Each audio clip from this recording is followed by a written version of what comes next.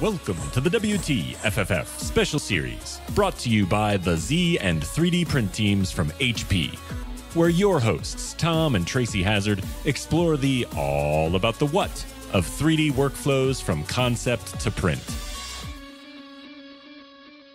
Hey everyone, welcome back to WTFFF. I'm Tom Hazzard along with my co host Tracy.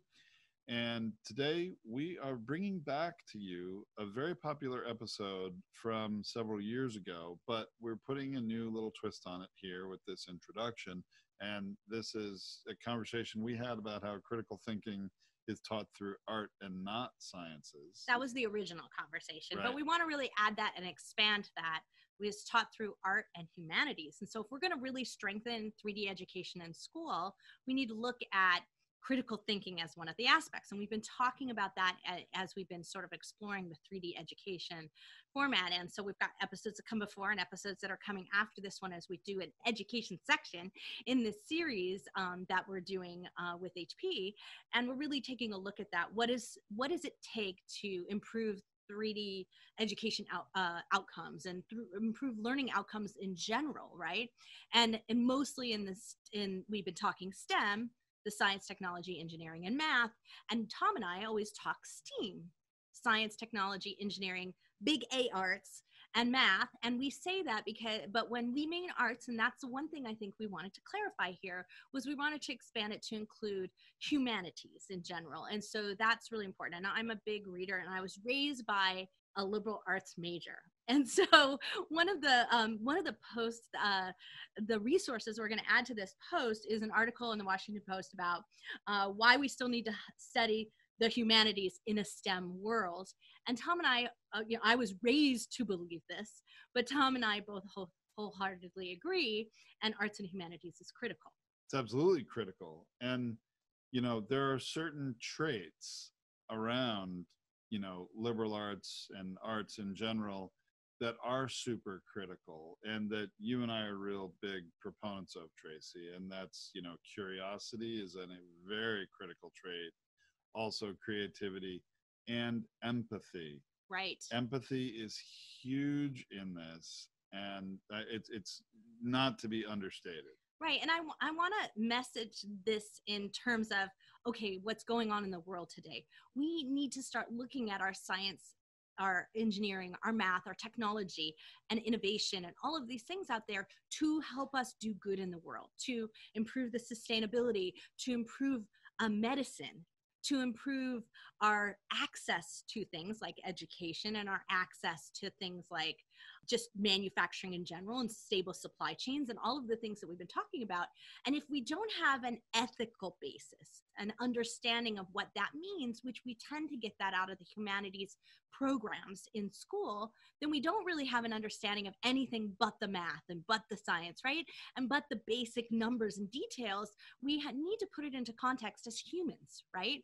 And what we're going to do in the world with this. And this is where I think it may get a little controversial here, but you know, in terms of our viewpoint on this, but we think that you know there's a lot of unintended consequences that can come out of technology that can come out of a global economy right? And these and we're starting to see what that is right? The speed of covid-19 around the world is an unintended consequence of uh, you know great aeronautics right? We can travel all over the world. We now do business all over the world right?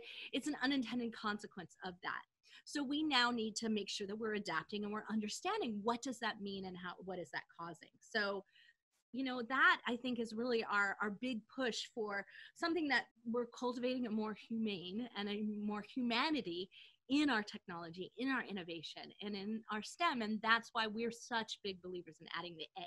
Well, and not only that, Tracy, you know, clearly there's evidence now, you know, at this time as this series is airing, it's the, the summer practically, maybe not officially, but certainly about to be the summer of 2020.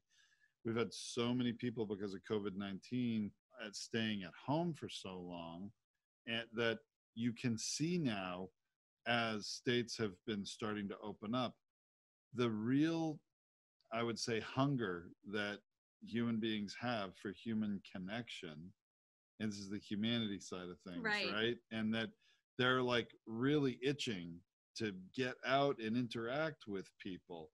And and this is sort of evidence of the need you know people tend to have different thinking styles and usually one of four different ones are either creative first or they're people first you know uh, they you need know, human they connection need human connection or they're more logistically oriented thinkers of processes and systems or they're numbers they're purely Yeah. numbers people right? Bottom line what's the data? But and engineers tend to be very data based i think and primarily system first, thinking, right? You're somewhere in there. but you know it's so important to understand that if you only speak toward the numbers and the data you're leaving out easily half of the the people the things that you talk about and the work that you do there's a good half of the population at least that's not going to respond to just the data and the numbers Right. And as we look at the World Economic Forum and the types of characteristics of, of hiring of people of what they're looking at, by broadening into these arts and humanities, you start to also broaden the ability for you to learn how to connect with other people, learn how to have empathy with other people, learn how to get along and do team things. But we also are balancing out, you know, the more that we create the, the digital connectivity, right? The more that we have more social, more social media, more big data, right? More of these things going on. We have finding that there it's essential to bring human judgment into the process, right? And that it's you know we have curation and we have other issues and we have to inform AI algorithms, right? And the humanity part of that is, is as important as the numbers, right? We need to do both and we need to be good at doing both. And so that's why we're big proponents of this. And, and that's why we thought we should bring, bring back this episode because it was one of our more popular because we're not criticizing STEM in any way, shape, or form. We just want to supplement that so we can make it stronger. And to be honest with you, both of us have found this to be an extremely important part of why we've been successful here because we can have we can speak on that inspiration and creativity and that bigger broader level but we're also looking at what does this mean for humans will people buy our stuff and you know like how do we how do we do all of that in that process not just how to make this thing. And so that's really i think been a success factor for us. So that's also why we wanted to represent this to you. And also it's just putting into context some of these episodes that are coming back and forth as we really start to take a critical look at our education program and and really taking a look at, at 3d education in schools and what this means and how we can bring those 3d printers into various parts of the school or the 3d design education. All of those things in the different parts of schools bringing them into our liberal arts education bringing them into the social science classroom bringing in- them in into different places. Now we're integrating better our stem and our and our thinking and our thought process and our developing of human beings right? And isn't that a better way to go? And so i, I just want to end tom with my dad because my dad is engineer. I mean he's oh yeah an engineer by trade an right? engineer no question. And when i first met him i don't even want to think how many years ago it was Long more, time more than 30 years ago he i saw him at the time when i first met him as kind of a black and white thinker uh, you know meaning things are either right or wrong. But over time i tend Learned to, to learn differently. differently. Yes right but my dad raised me to because he had a liberal arts education and then went into science through uh, arizona state university so he's an asu grad and he went into the the sort of that engineering side of things to become an engineer and then he worked for Fluor Daniel Corporation for a really long time. And so and many other companies in the oil and, and industry and and so but what he always brought me was that viewpoints on the world when you read something you should read five books on anything. Like that's how he always presented it to me. He's like, I want you to read five viewpoints, and you can read something that's a how-to manual or an engineering book or you know anything like that that's technical. But then you must read about what was going on in that time period. So you must read something historical, and then you must read something in literature, and then over time, I added to that.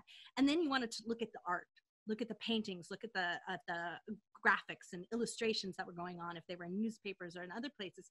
Because when you do that you get a broader look and put the innovation the technology the things that were going on that i'm building off of into context. And that's where we really start to understand why things happened and when they happened um, why they occurred at that time period. And so when we do that we can start to look at ourselves critically as well and saying you know hey i can't it's not enough to just put out a how-to manual. I need to put out a, a sort of context about why 3D printing is taking off in this day and age and what's making that difference. And it's not just because you know you could look at it hard and fast. It's there's not just because a bunch of patents were released in 20 in 2009 and you know and that and that opened up the floodgates. You know there was a need there was a gap there was a human interaction thing going on. There was technology and innovation but there was a driver for more and that's what we're seeing. So when we can do that in a better way then we learn more and we become better human beings better designers better creators better engineers. All of those things make us make us better and uh, and broaden that ability. So why, let's definitely bring that 3d education right into our school with this kind of arts and humanities added to it well, Tracy, I couldn't have said it better myself. you so, did. Well, no, that, that, the the end of that and the, and what you're learning from your father has taught you, and we wholeheartedly believe in it. We've experienced it, and we hope that you know that makes sense to you, and that you know you'll appreciate not only this intro, new intro to this episode, but the the episode that we recorded that, like we said, was very popular. So, shall we go to the episode, Tracy? absolutely Yeah, we got a good one today that started partially from a question from a listener, but also delves into another subject that we've wanted to talk about for a while. Yeah, so it's kind of obvious from it being WTFFF that we're very comfortable throwing out acronyms here.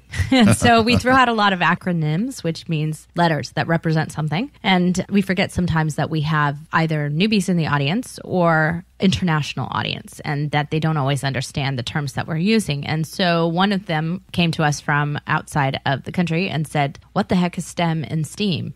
and, And it's a a- really good, valid question. Yeah, it's a fair question, and shame on us for not defining it sooner. And I know a lot of people in the U.S., it's obvious to you, especially those of you in the education field, where we know we have a lot of you teachers and student listeners out there. But for the benefit, and we're just going to address it quickly, and then there's another bigger picture subject related to this we're going to talk about today, but let's address that quickly for our international friends who listen to the podcast. So, STEM is science, technology, engineering, and math.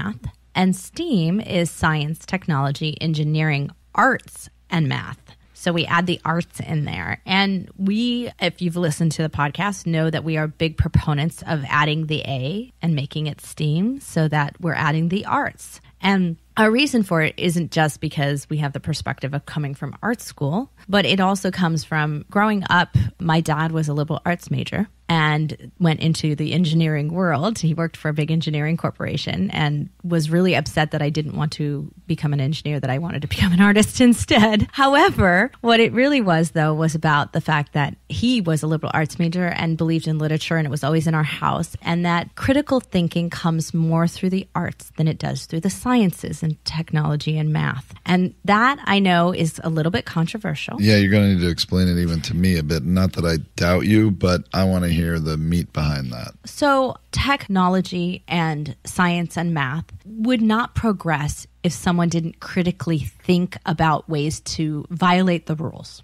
There are rules in math, there are rules in science, and your job is to prove those rules, right? That you start with a sense, yeah. hypothesis and you prove it out in science. You start with a proof in math and you dive it down and go through the formula of what that is, right? And that's the essence and the basis of those things. There's nothing wrong with them. There's absolutely nothing wrong with that. But at some point, you have to critically think to violate that, to do something innovative, to do something Disruptive. y- disruptive, to do something that is outside of the normal connection of that straight mathematical process, right? That straight science proof process, right? So when you do that, learning that critical thinking process comes from the arts, comes from the humanities, comes from literature, comes from people being critical, criticizing, and getting your mind to think in that way, getting your mind not to accept the rules. So, I am a big proponent of continuing to make sure that all of our science, technology, engineering, and math has a component of that forces that critical thinking through it, that forces the creativity into it. Otherwise, you're just teaching someone how to use a 3D printer.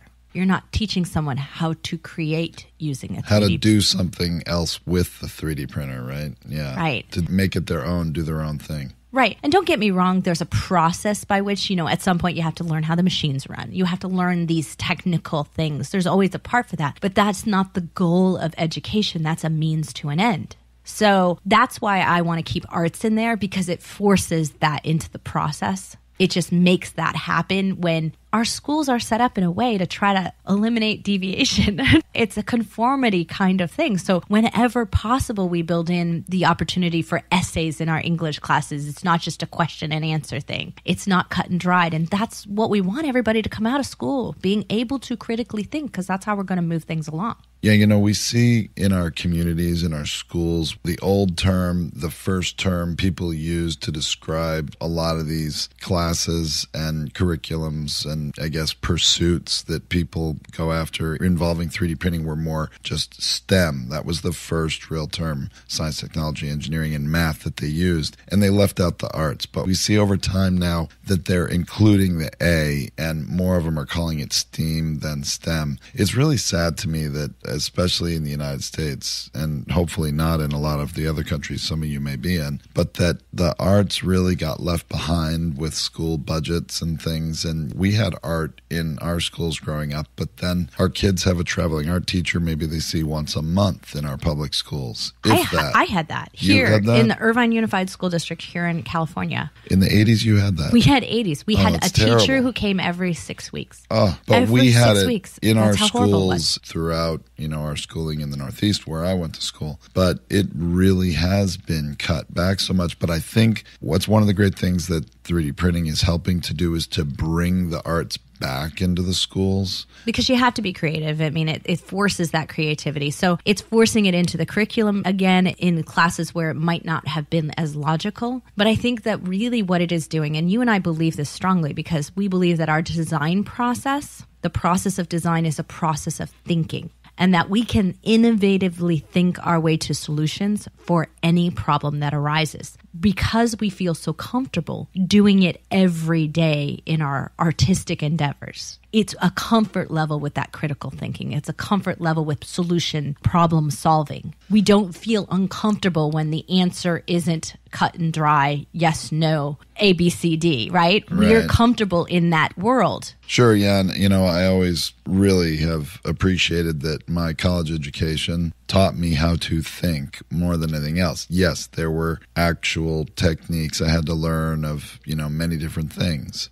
But really, what our art school taught us is how to think. And whenever we approach a project, it's always a thought process first, and then, okay, how are we going to execute that? Right. And then you have rules and and limitations. use tools and other Right, things, right? right. Exactly. So coming up, we're going to have an interview with Steam Maker Workshop, which is out of San Diego, and it was one that our Teacher of the Year. Uh, Cindy Schultz. Cindy Schultz referred us to as to who hired her, and they put the A in their Steam Maker workshop for a reason because they believe that they want to encourage innovation and not invention. And they believe very strongly that innovation comes from that kind of arts and critical thinking, which I just love the idea of that. Yeah, that'll be a great episode. And for our listeners, that's coming up in one week from tomorrow. That'll be episode 224. So stay tuned for that one. That, that'll be a very good one. Yeah, and he's very articulate and, and it's just an amazing call, which you weren't on, unfortunately. No, I was away or something. You were away, yeah. and I and I took it without you. So we've been doing an on and off occasional solo thing, and um, well, we just it's had not to as because much of our. fun. I know we've had to because of our schedule. but it's not as much fun. I agree. I don't get to rib you as much. You know. Uh, yeah, and I think yeah, I'm not enjoying those as much, but it's the reality of, of a growing business, and it's what Sometimes we need to do it. Honestly, I'm tired of you yawning when I'm doing some Tech Tuesday subjects that are highly technical, and you're like, "Oh my gosh, how long do I have to listen to I this?" liked yesterday's. Yesterday's was a little different. I it was liked not. yesterday's. It was yes, still technical, but it was not quite as nitty gritty in the trenches of your 3D printer technical, which next week's will be again. Oh, okay, okay. okay, well, whatever.